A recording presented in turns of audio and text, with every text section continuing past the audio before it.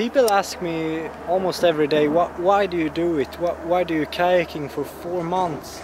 And I guess my answer is because uh, I, I do what I love to do.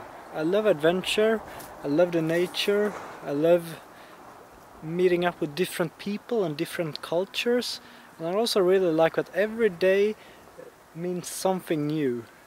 I don't like routines back in Sweden. Go up at 7 o'clock and come home at 4.